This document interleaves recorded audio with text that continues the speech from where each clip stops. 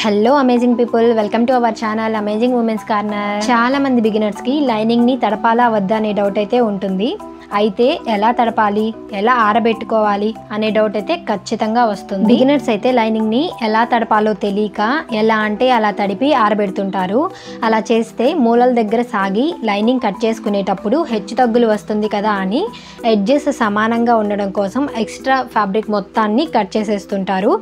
అలా చేయడం వల్ల ఏంటంటే మనకి క్లాత్ తగ్గిపోయి లైనింగ్కి జాయింట్స్ అనేవి పడతాయి. ఇలాంటి ప్రాబ్లం మనకి రాకుండా లైనింగ్ని ఎలా తడపాలి? మూలలు సాగకుండా ఎలా ఆరబెట్టుకోవాలి అనేది ఇప్పుడు ఈ వీడియోలో క్లియర్గా అయితే మీకు చేసి చూపిస్తాను. మీరు కానీ దీన్ని ఫాలో అయ్యారు మనకి ఇలాంటి ప్రాబ్లం రాకుండా ఉంటుంది. మనం హ్యాపీగా అయితే లైనింగ్ ఫ్యాబ్రిక్ తోటి బ్లౌజ్ అనేది స్టిచ్ చేసేసుకోవచ్చు. అండ్ అలానే సేమ్ ఇప్పుడు నేను చూపించబోయే ప్రాసెస్లోనే మీరు శారీ ఫాల్ని కూడా వాష్ చేసి ఆరబెట్టుకొని అయితే శారీకి స్టిచ్ చేసుకోవాల్సి ఉంటుంది. లేకపోతే మనకు శారీకి ఫాల్ స్టిచ్ చేసిన తర్వాత శారీని ఎప్పుడైతే వాష్ చేస్తామో అప్పుడు ఫాల్ అనేది షింక్ అవుతుంది. మనకి శారీ అంచు అనేది మంచి లుక్ అయితే రాదనమాట సో తప్పకుండా శారీ ఫాల్ని కూడా ఇదే వేలో మీరు వాష్ చేసి ఆరబెట్టుకొని స్టిచ్ చేసుకోవడం అనేది మంచి పద్ధతి. ఇప్పుడు ఎలా చేయాలి అనేది చూపిస్తాను. లైనింగ్ ఫ్యాబ్రిక్ని వాష్ చేసుకోవడానికి ఫస్ట్ అయితే మనం ఒక బౌల్లో వాటర్ అయితే తీసుకోవాలి. చూసారు కదా ఇదైతే మన లైనింగ్ ఫ్యాబ్రిక్ ఇప్పుడు దీన్ని అయితే నేను వాష్ చేసి మీకు చూపిస్తాను డీటెయిల్డ్గా ఎప్పుడైనా సరే మనం లైనింగ్ ఫ్యాబ్రిక్ని వాష్ చేసుకోవడానికి లైనింగ్ ఫ్యాబ్రిక్ని మొత్తం అయితే ఓపెన్ చేయకూడదు. అది ఎలా అయితే ఫోల్డింగ్ మీద ఉందో సేమ్ అలానే ఉంచేసి అదే ఫోల్డింగ్ మీద మనం బౌల్లో పెట్టి వాష్ చేసుకోవాలి. మనం ఇలానే ఫోల్డింగ్ మీద ఉంచి ఈ లైనింగ్ ఫ్యాబ్రిక్ని వాష్ చేసుకోవడం వల్ల మనకి మూలలు అనేవి సాగకుండా ఉంటాయి. మనం కానీ ఓపెన్ చేసేసి ఫ్యాబ్రిక్ మొత్తము వాష్ చేసుకున్నామంటే ఖచ్చితంగా మనకి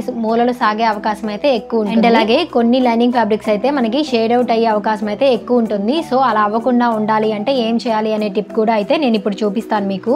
మనకి కొన్ని లైనింగ్ ఫ్యాబ్రిక్స్ ఎక్కువగా షేడ్ అవుట్ అవుతాయి అని అనిపించినప్పుడు వాటిని డైరెక్ట్గా అయితే వాటర్లో పెట్టకండి. అలా వాటర్లో పెట్టకుండా మనం కొంచెం రాళ్ళ ఉప్పు ఉంటుంది కదా రా సాల్ట్ అంటారు. సో ఆ రాళ్ళ ఉప్పుని తీసుకొని కొంచెం వాటర్లో వేసుకొని అప్పుడైతే మనం వాష్ చేసుకున్నామంటే మనకి ఎక్కువ శాతం ఫ్యాబ్రిక్ కలర్ అనేది పోకుండా ఉంటుంది. ఈ టిప్ అయితే తప్పకుండా మీరు ట్రై చేయండి. ఓన్లీ ఈ ఫ్యాబ్రిక్ మాత్రమే కాదండి మనం ఏదన్నా కొత్త డ్రెస్సెస్ కొనుక్కున్నా శారీస్ కొనుక్కున్నా కలర్ పోతాయి అనుకున్నప్పుడు కొంచెం బకెట్లో రాళ్ళ ఉప్పు వేసుకొని వాటర్లో మనం అప్పుడు కానీ ఆ డ్రెస్సెస్ ముంచుకొని వాష్ చేసుకున్నామంటే మనకి ఎక్కువ శాతం కలర్ అనేది షేడ్ అవ్వకుండా ఉంటుంది. ఇప్పుడు మనం ఈ లైనింగ్ ఫ్యాబ్రిక్ని వాటర్లో ఒక ఫైవ్ మినిట్స్ అయితే నానబెట్టుకోవాలి. చక్కగా ఇలా ఒక ఫైవ్ మినిట్స్ నానబెట్టుకున్న తర్వాత ఫ్యాబ్రిక్ వాటర్ అంతా బాగా లాగుతుంది. అప్పుడు మనం దీన్ని పిండుకొని ఆరబెట్టుకుంటే సరిపోతుంది. అంత టైం కూడా లేదు నేను వెంటనే బ్లౌజ్ స్టిచ్ చేసుకోవాలి కొంచెం తొందరగా చేసుకోవాలి అనుకున్నప్పుడు ఎలా చేయాలో కూడా నేనైతే చూపిస్తాను. నానబెట్టుకునే పని లేకుండా మనం ఫ్యాబ్రిక్ని వాటర్లో ఈ విధంగా ముంచుకొని గట్టిగా అయితే పిండుకోవాలి. ఫ్యాబ్రిక్ని వాటర్లో ముంచుతూ పిండాలి.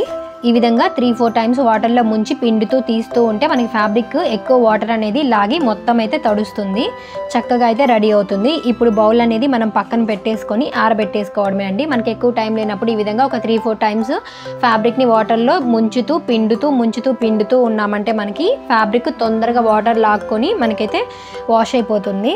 ఈ విధంగా మనం అయితే రెడీ చేసుకోవాలి ఫ్యాబ్రిక్ చాలా మంది అయితే ఫ్యాబ్రిక్ని వాష్ చేసిన తర్వాత తీగ మీద వేసి ఆరేస్తుంటారు. మొత్తం ఫ్యాబ్రిక్ అంతా ఓపెన్ చేసి అలా అయితే మనం అస్సలు చేయకూడదు. అలా చేయడం వల్లే మనకి మూలలు అనేవి సాగడం జరుగుతుంది. ఎప్పుడైనా సరే మనం ఫ్యాబ్రిక్ని చక్కగా ఫ్లోర్ మీదే ఆరబెట్టుకోవాలి. అలా ఆరబెట్టుకోవడం వల్ల మనకి మూలలు అనేవి సాగకుండా ఉంటాయి. తీగ మీద మాత్రం అస్సలు అయితే ఆరబెట్టకండి. ఇలాంటి తడిచిన ఫ్యాబ్రిక్స్ మనం బ్లౌజ్ స్టిచ్ చేసుకోవడానికి మూలలు సాగకుండా ఉండాలి అంటే ఖచ్చితంగా మనం ఫ్లోర్ మీద వేసే ఆరబెట్టుకోవాలి. చక్కగా ఈ విధంగా ఫ్లోర్ మీద ఫ్యాబ్రిక్ మొత్తాన్ని పరుచుకొని హ్యాండ్స్ తోటి నాలుగు వైపులా సరి చేసుకుంటూ మనమైతే ఫ్యాబ్రిక్ని ఆరబెట్టుకోవాలి.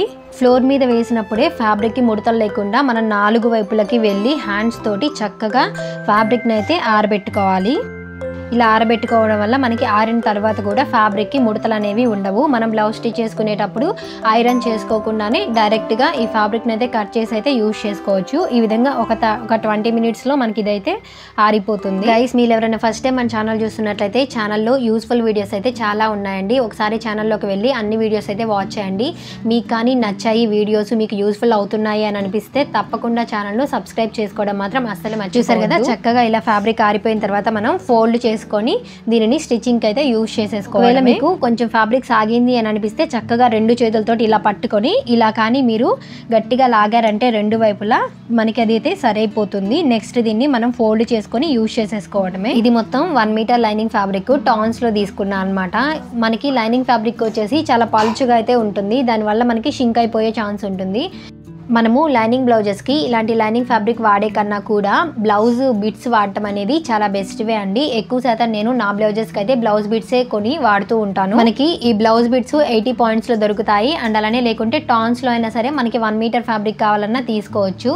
మనం లైనింగ్ ఫ్యాబ్రిక్ పల్చుటి లైనింగ్ ఫ్యాబ్రిక్ కొనే కన్నా కూడా ఇలాంటి బ్లౌజ్ బిట్స్ కానీ యూజ్ చేసుకున్నామంటే మనమైతే వీటిని వాష్ చేసుకోవాల్సిన అవసరం కూడా ఉండదు. చక్కగా డైరెక్ట్గా అయితే బ్లౌజ్ స్టిచ్ చేసేసుకోవచ్చు. మీరు కూడా ఒకసారి ఇలా అయితే ట్రై చేసి చూడండి. ఈ వీడియో అయితే మీకు హండ్రెడ్ పర్సెంట్ నచ్చింది అని అనుకుంటున్నాను. ఈ వీడియో పరంగా ఏమైనా డౌట్స్ కానీ ఉంటే మీరు కామెంట్ బాక్స్లో మెన్షన్ చేయండి. వెంటనే అయితే నేను మీకు రిప్లై ఇస్తాను. చూసారు కదా? ఈ విధంగా చక్కగా ఆరబెట్టుకున్నటువంటి లైనింగ్ ఫ్యాబ్రిక్ని ఫోల్డ్ చేసి పెట్టేసుకున్నాం కదా? ఈ బ్లౌజ్ పీసెస్ తోటే నేను ప్రిన్స్ కట్ బ్లౌజ్ అయితే స్టిచ్ చేశానండి. ఆ స్టిచ్చింగ్ చేసిన వీడియోస్ అన్నీ కూడా మన ఛానల్లో ఉన్నాయి. ప్రిన్స్ కట్ బ్లౌజ్ని అసలు ఎలా కట్ చేసుకోవాలి? ఎలా స్టిచ్ చేసుకోవాలి? ఎలా హిమింగ్ చేసుకోవాలి? ఎలా థ్రెడ్ పైపింగ్ చేసుకోవాలి? అన్ని వీడియోస్ అయితే మన ఛానల్లో ఆల్రెడీ పోస్ట్ చేసేసాను. మనం బ్లౌజ్ని కట్ చేసుకుని స్టిచ్ చేసుకునే ముందు జరిగే బేసిక్ ప్రాసెస్ మొత్తం మీకు డీటెయిల్గా తెలియాలి అన్న ఉద్దేశంతో ఈ వీడియో అయితే చేశాను. ఇది మీకు హండ్రెడ్ పర్సెంట్ యూజ్ అవుతుంది అని అనుకుంటున్నాను.